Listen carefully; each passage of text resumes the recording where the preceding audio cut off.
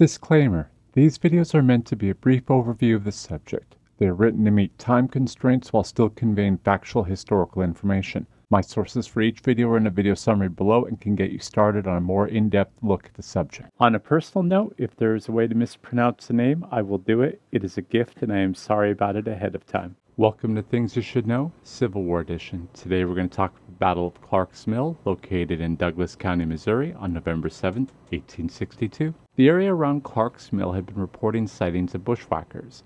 These were small groups of independent fighters and raiders that were not necessarily part of the Union or Confederate lines.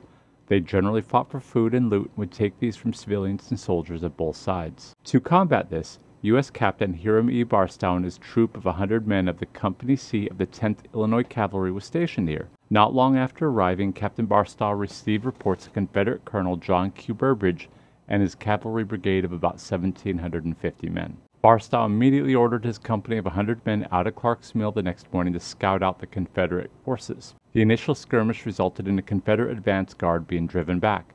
Barstow then moved his men to the blockhouse, realizing he was going to be outnumbered more than 17 to 1. The Confederates, realizing how much they outnumbered the Union troops, immediately pressed back and approached the blockhouse from the northeast. They eventually surrounded the fort, and after five hours of fighting, U.S. Captain Barstow surrendered his men. Confederate Colonel Burbridge burned the fort and paroled the Union soldiers, releasing them as prisoners, and then he left. Estimated casualties were 9 Union soldiers killed, 37 wounded, while there were no Confederate soldiers reported killed, wounded, or missing.